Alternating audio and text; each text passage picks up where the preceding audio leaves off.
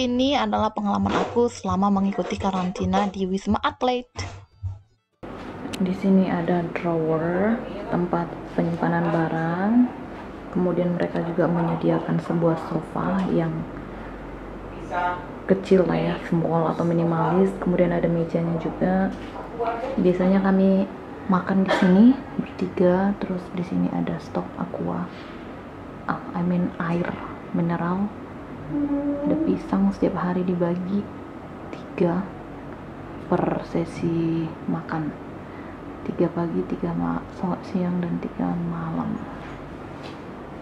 Kemudian situ ada pintu konkret biasanya aku di sini duduk belajar main laptop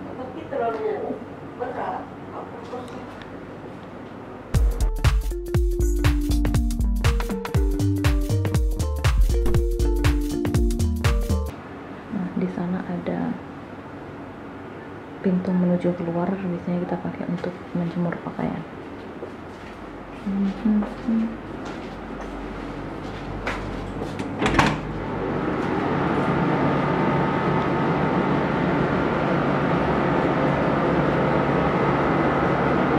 Di sini adalah benda-benda yang dijemur.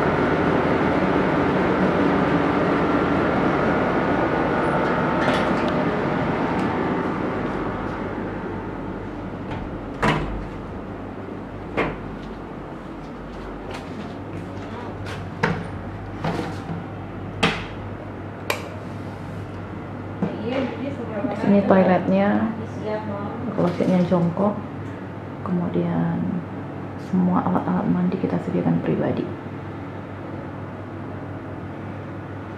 Dan ada showernya untuk dingin dan hangat.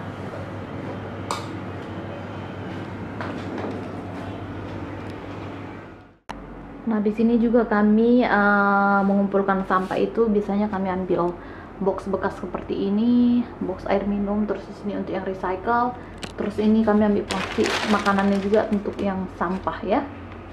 Jadi ini nanti kami buang setelah makan malam sekali sehari. Dan di ruangan ini eh, tidak disediakan eh, alat kebersihan seperti sapu atau dan lain-lainnya itu nggak ada. Jadi kami bertiga sebagai penghuni di sini bersama-sama berpikir kita menggunakan kain lap lah untuk membersihkan, menyapu dan mengepel setiap paginya karena kita di sini tinggal 8 hari harus jaga kebersihan demi kebaikan dan kesehatan bersama. Dan kami juga selalu menyediakan ini alkohol. Kalau kita pulang dari kantin atau dari luar ngambil nasi kita selalu semprot dulu tangan pakai ini. Nah, di sini percasaan karena casnya beda jadi kami punya satu cas. Kebetulan ini punya saya jadi kita berbagi di sini ganti-gantian ngecas. Ini yang cas internasional itu. Oke. Nah, untuk tampilan di luar dari jendela itu langsung ke gedung ya. Tidak ada apa-apa, langsung ke bawah juga seperti ini. Nah, tampilannya ya memang kadang kita jenuh juga di sini ya dan AC-nya ini tidak ada dimatikan non-stop kayak gini ya mulai hari pertama sampai sekarang hari keempat dan hingga hari ke-8 nantinya. Nggak ada remote jadi kita bingung. Mau mencabut itu takutnya nanti kalau dicabut nggak bisa dihidupin lagi. Ya udahlah kita biarin aja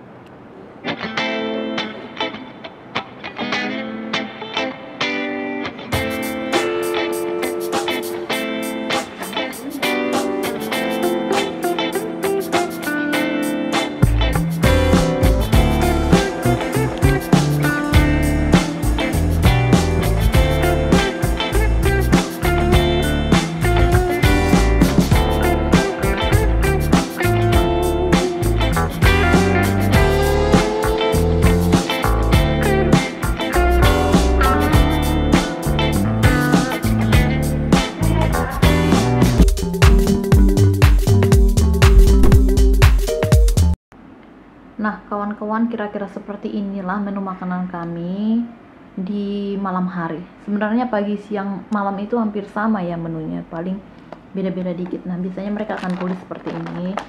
uh, bacaannya baik untuk dikonsumsi sebelum pukul 8 untuk yang malam kita bisa lihat menunya itu yang pasti ada selalu nasi uh, kerupuknya terus ada sambalnya. Terus malam ini mereka menyediakan lauknya itu. Ada tempe ikan kikil dan ada sayurnya. Nah ini semua disajikan hangat ya kawan-kawan. Nah kira-kira inilah tampilan menu semasa karantin. Dan mereka juga uh, menyediakan tiga botol air minum. Terkadang bisa diambil lebih sih tergantung kitanya dan buahnya itu selalu ya nggak pernah berubah. Mulai dari hari pertama sampai hari ini hari keempat itu nggak pernah berubah. Dia selalu pisang. Nah ini tadi kami sore jajan ke kantin beli uh, air kelapa.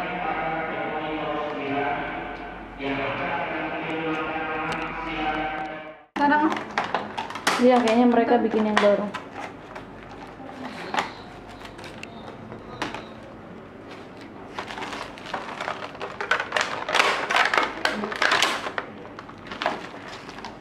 uh dagingnya gede. Dagingnya apa itu? Rendang? Iya.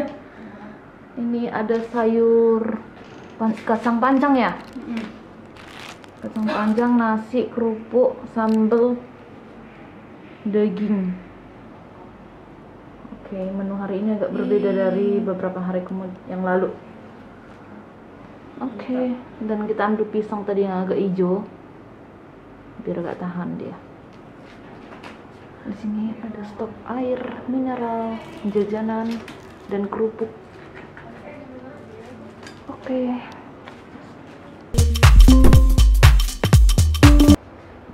Finally kita siap dari karantina. Dan ini barang-barang kita semuanya membludak. Banyak banget oke ntar kita bingung dan terima kasih buat kamar ini telah menemani kami selama lima hari. Sehat-sehat dan sekarang saatnya kembali ke kampung. Buat mbak ini mbak Iso sehat-sehat ya sampai kampung. Makasih ya dek. Iya. Aduh. sedih lah nggak tahu kapan lagi kita ketemu. Mudah-mudahan kita ketemu lagi. Ada mbak Ati. Ya. Bye bye. Mbak aduh sangat sedih ya Saatnya kita dengar makan malam. Terima kasih ya, sayang.